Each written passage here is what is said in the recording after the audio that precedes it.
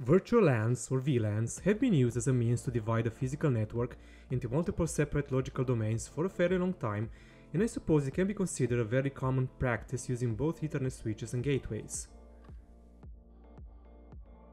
But ASUS quietly included a dedicated VLAN section and has upgraded the basic guest network to the Pro version on some of its wireless routers, so it's worth having a look at what can be achieved using these two features.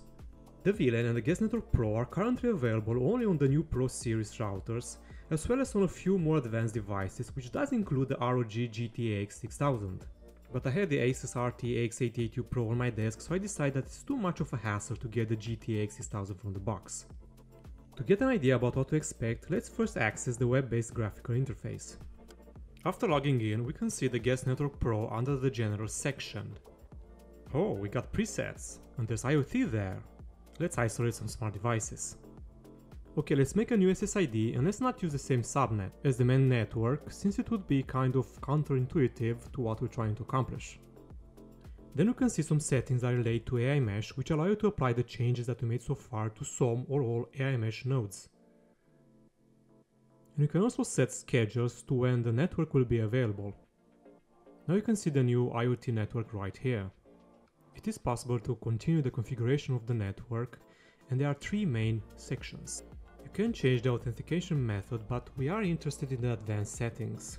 Since we'll be adding new devices very soon, you need to make sure that the DHCP server is enabled, and seems that the network has already received a VLAN ID. It is possible to change it. If you don't want the network name to be visible, make sure to toggle the switch. And we get lots of interesting options underneath the DNS server. We don't want the IoT network to communicate with the main network, so let's enable the IP isolation option.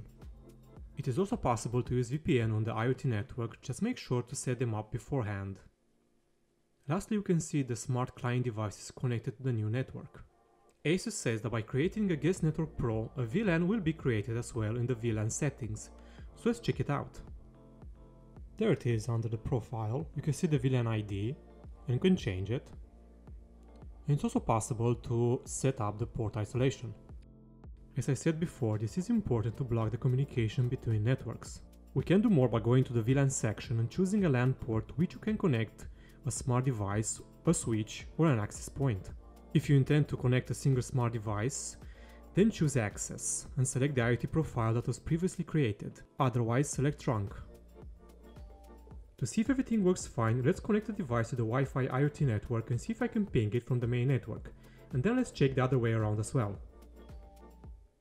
Since I am using Windows 10 at the moment, I opened a command prompt window and pinged the client device that can be seen in the dedicated IoT network section.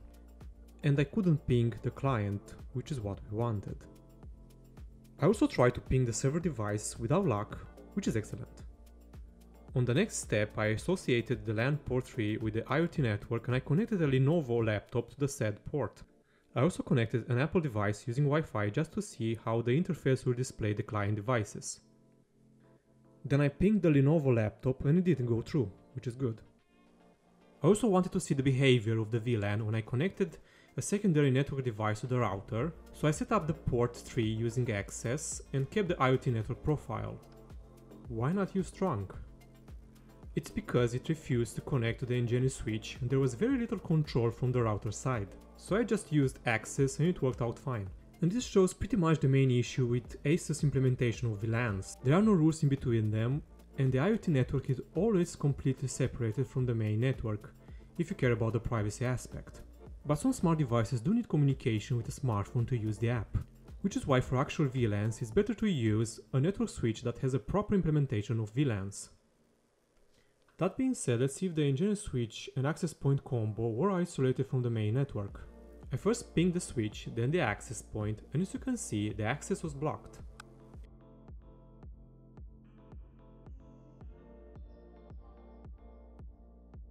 Then I connect the computer to the Wi-Fi network of the access point, and it was blocked from the main network as well. Note that you will be able to see these clients in the router interface, but they will appear as connected via cable.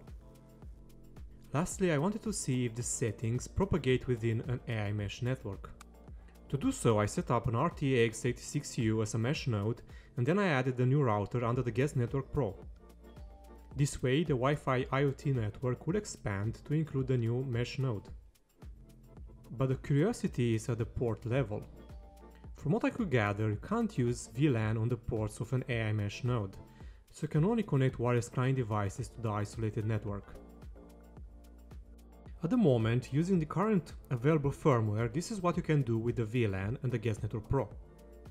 It has been improved from previous firmwares and I assume it will continue to be developed on future versions as well.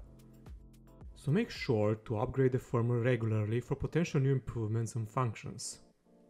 That's all for now, See you next time.